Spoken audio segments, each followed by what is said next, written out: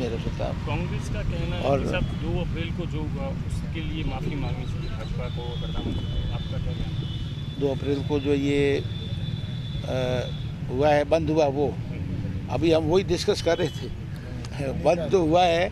मैं बाड़मेर की बात करता हूँ। आपको पता ही है जो फैसला आया है उस फैसले में ये कहा गया है कि जो जिस तरह से अग्रिम जमानत होती है कुछ लोगों को साथ पकड़ लेते हैं और जितने भी केसेज हुए, पूरे हिंदुस्तान देखेगा, अस्सी अस्सी, पचासी परसेंट केसेज हुए हैं, उसमें उनका न्याय नहीं हुआ है। तो थोड़ा सा उसमें अमेंडमेंट किया, बहुत थोड़ा सा है उसके ये थोड़ा ही एस सी का जो जो उनको मिला हुआ है, वो हटा रहे हैं। पर यहाँ जो मुझे बताया गया है कि कांग्रेस ने, दूसरे जो हमारी हमारी मोदी जी की या वसुंधरा जी शकल पे मतलब पसंद नहीं करते हैं पार्टी के हमारे जो जो हमारे तरक्की कर रहे हैं, जो हम अच्छी योजनाएँ लाए हैं, जो बहुत अच्छा काम हो रहा है उससे वो पीड़ित होकर के वो कुछ न कुछ करना चाहते हैं। और उन्होंने जो ये किया है, वो एक तरह से गलत किया है।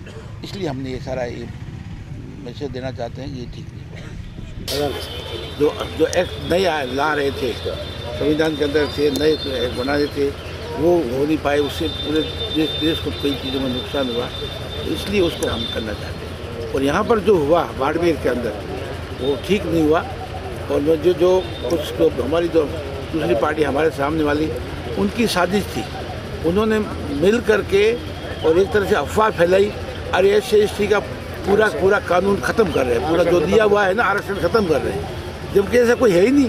सर इनमें मैन कौन है बारीक बारीक अभी छोड़ो उसको। बारीकी से आप देखो बारीकी से देखो तो उसमें कुछ नहीं थोड़ा संशोधन है कि एक अगर कोई उसमें एस सी एस टी का एक्ट में अगर कोई अगर एफ़ आई करता है तो उसके अंदर थोड़ा संशोधन था कि अभी सामने वाले मुलजिम को कुछ वक्त मिलना चाहिए। तो वो देखा जाए। और बेचारे गाँव वाले जैसे इसलिए के भोले भाले हैं, उनको भटकाया गया, अरे साहब, तुम्हारा आरक्षण खत्म कर दिया तो आप लेकिन मोटा आरक्षण खत्म करता बहुत बहुत नुकसान किया। इसलिए ये ठीक नहीं हुआ इसे नुकसान हमारे सर इसमें एस सी वालों को भड़काने में मेन जो मुखिया है आप कौन? ये तो आप बैठे आप लोकल आदमी। कांग्रेस पार्टी ने किया आप नेता कौन है मुझे पता नहीं, मैं था ही नहीं। आ जाया बाकी दलम सिंह जी बता देंगे कोई नेता का पता मैं था ही तो रात को आया हूँ। Congress party. Congress party- sir sir उपवास कितने बजे तक रहेगा आपका? ये हमारा पाँच बजे तक है।